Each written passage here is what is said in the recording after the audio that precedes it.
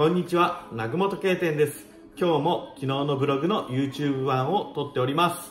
昨日のブログでは当店が取り扱いをしております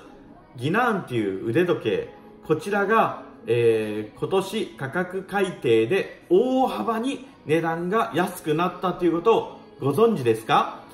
実は去年の3月に、えー、ギナーン社で会議をした時に、えー、もう我々こう再出発をしたいろんな機材の投資だとか新しいケースの発注だとかいろんなまあ投資がすごくかかったと。それのもう目処がついたと。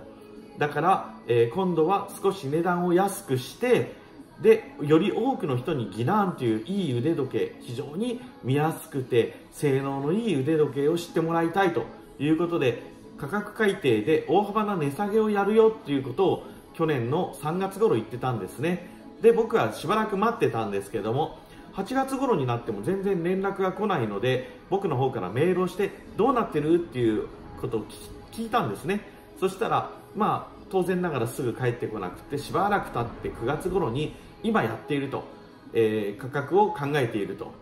で、えー、それからまた10月になっても来ないのでまたどうなってる？っていう話をしたら、えー、12月に、えこの価格で売ってくれというのが決まりましてえー、そうですね、えっとですね、僕が勝手に販売価格実は決めてるんじゃなくて、メーカーの方で、えー、何ユーロで売ってくれっていう、こう、なんていうのかな、指令が来るんですね、向こうから僕の方に。で、その何ユーロっていうのを日本円に換算して、え販売しているんですね。で、それの連絡が来まして、去年の12月に来て、今年2019年の1月から新価格に改定しました。